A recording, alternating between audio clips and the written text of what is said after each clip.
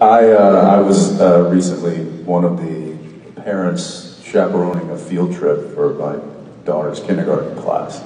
But uh, at a certain point, they were like doing some like arts and crafts or something. This was out on a farm, and uh, and I noticed that uh, you know JJ was trying to take get to the front where she could hear the counselor lady explain what was going to happen, and one of the little boys uh, shoved her because she kind of came up next to him and he just turns and goes, boom!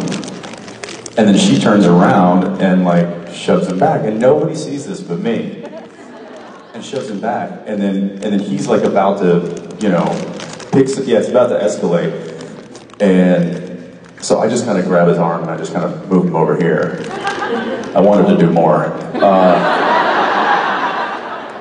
and I diffused it very quickly before anybody really even saw it. Um, and then because I did that, he kind of got upset and went over to his mom, who happened to be there as well. Didn't say anything, was just like upset. And mom was like, "What's wrong? What's wrong?" And he was just like, "No."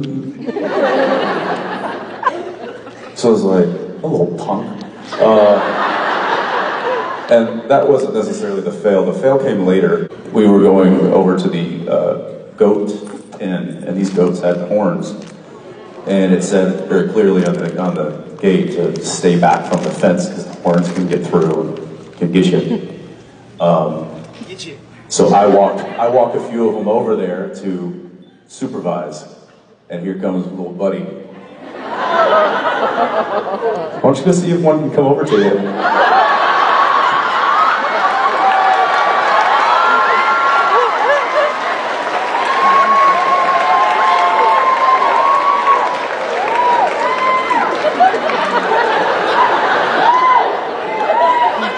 And one started to to kind of motor over to him, and he was right against the fence, and I was literally just holding the other like four kids back. And I'm like, I'm like, Shh.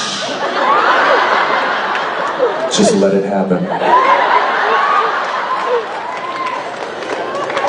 I will say though that before the goat got too close, I reached over and I grabbed the back. Pushed